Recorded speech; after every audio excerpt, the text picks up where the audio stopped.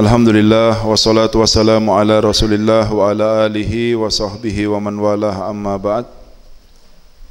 Alhamdulillah puji syukur kehadirat Allah Subhanahu wa taala yang mana pada malam yang mulia ini kita kembali dikumpulkan oleh Allah Subhanahu wa taala dalam majlis yang tercinta ini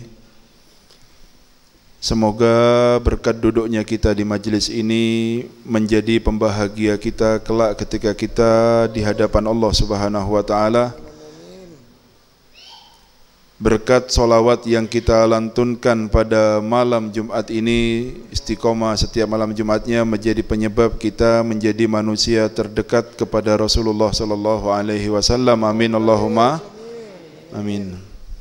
Selama umur masih ada pada diri kita maka kita tetap diminta untuk memperbaiki ubudiyah kita atau penghambaan kita kepada Allah Subhanahu wa taala. Karena yang namanya perjalanan ini ada permulaannya namun tidak ada ujungnya. Dan ketahuilah bahwa langkah pertama seseorang yang akan mendekatkan dirinya kepada Allah Subhanahu wa taala yaitu dengan taubat kepada Allah Subhanahu wa taala. Dalam artian seseorang apabila tidak bertobat kepada Allah maka dia belum berjalan mendekat kepada Allah seandainya semua ibadah yang dia lakukan dengan banyak dan lain sebagainya tetap dia seakan-akan jalan di tempatnya tidak mendekat kepada Allah Subhanahu wa taala. Karena langkah pertamanya adalah taubat. Sebelum bertobat berarti belum ada langkah untuk mendekat kepada Allah. Habib saya membaca Al-Quran, Habib saya wiritan, saya sholat lima waktu. Kalau belum taubat dari dosa-dosa yang terdahulu, maka kita belum mendekat kepada Allah Subhanahu wa taala. Setelah langkah taubat ini baru ada langkah selanjutnya.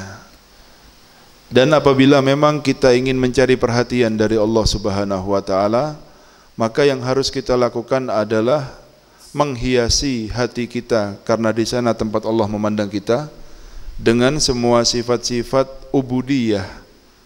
Ya, sifat-sifat penghambaan, sifat yang seharusnya ada dalam hati seorang hamba. Dan kita harus berhati-hati dengan semua sifat-sifat yang apabila ada sifat tersebut, maka Allah tidak akan memandang hati kita selama-lamanya. Walaupun dengan ibadah apa pun yang kita lakukan. Oleh karena itu, ya, dalam hadis ya, disebutkan bahwa man arafa nafsahu arafa rabbahu. Siapa orang yang mengetahui tentang siapa dirinya maka dialah orang yang paling kenal dengan Tuhannya. Maksudnya yang tahu diri siapa diri kita ini. Karena memang ada sifat-sifat yang memang seharusnya kita bersifat dengan sifat itu. Contoh ya ada namanya sifat rububiyah. Sifat ini hanya mutlak milik Allah Subhanahu wa taala. Dalam artian tidak boleh bagi seorang hamba seperti kita bersifat dengan sifat ini. Di antara sifat-sifat itu adalah gina wal iz ya wal kudrah wal quwwah dan lain sebagainya ya. Sifat yang pertama adalah gina, kaya, kekayaan. Kekayaan mutlak itu punya Allah. Kita punya apa? Tidak punya apa-apa. Punya apa? Punya titipan. Jadi seperti ini. Kita ini dilarang untuk mengakui barang milik orang lain yang bukan milik kita.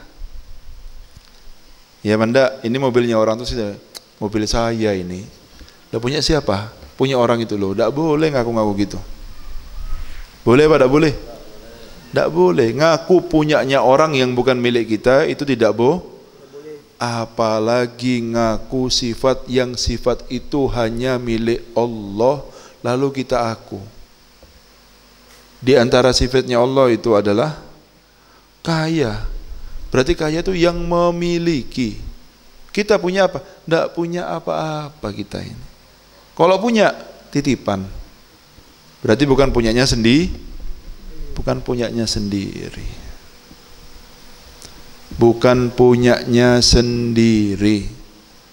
Ya, jadi jangan ngaku-ngaku kaya. Ya karena kaya itu adalah sifatnya Allah. Allah Subhanahu wa taala. Maka lawan dari empat sifat ini adalah sifat yang seharusnya seorang hamba berhias dengan sifat tersebut. Lawannya kaya apa? Fakir. Merasa kalau kita selalu miskin dan butuh kepada Allah, itu matlub, harus ada dalam hati kita. Kita setiap saatnya butuh kepada Allah. Allah. Kalau seandainya kita paham betul bahwa kita mempunyai Tuhan yang maha kaya, maka kita akan cukup bersandar kepada Allah daripada harus bersandar kepada selain Allah yang tidak mempunyai apa-apa. Maka ketika tahu betul bahwa kita mempunyai Tuhan yang maha kaya, maka sifat yang wajib ada pada diri seorang hamba adalah bertawakal kepada Allah yang orang apabila tidak mempunyai sifat yang namanya tawakal dalam artian dia belum mengakui tentang kekayaannya Allah Subhanahu wa taala. Atau dia lebih bersandar kepada makhluk lebih daripada ke, dia lebih bersandar dan dia lebih percaya kepada seorang makhluk lebih daripada kepada Allah Subhanahu wa taala. Ini kalau ada sudah jaminan dari orang tertentu, mungkin orang ini kaya atau punya jabatan, dia tenang hatinya. Oh kalau orang ini yang jamin aman sudah. Tapi kalau Allah, bagaimana? Ya, jadi sifat yang harus ada pada diri seorang hamba adalah fakar. Makanya harus iftikor, menampakkan bahwa kita ini adalah hamba yang betul-betul fakir dan butuh kepada Allah. Makanya katanya Habib Abdullah bin Al-Haddad ya, Qad kafani ilmu Rabbi min su'ali wa Faddu'ai wa ibtihali syahidun li biftikori. Qad kafani ilmu Rabbi cukup ilmunya Allah tentang keadaanku min su'ali wa ikhtiyari daripada doa dan usahaku. Kita doa, kita usaha. Apa Allah tidak tahu dengan apa yang kita butuhkan? Tahu demi Allah. Lalu buat apa berdoa kalau Allah sudah tahu? Ya, saya berdoa untuk menunjukkan kalau saya ini butuh, saya ini fakir dan sekarang saya di hadapan zat yang maha kaya yaitu Allah. Itu rahasianya doa. Menunjukkan kalau kita ini butuh sama Allah. Allah subhanahu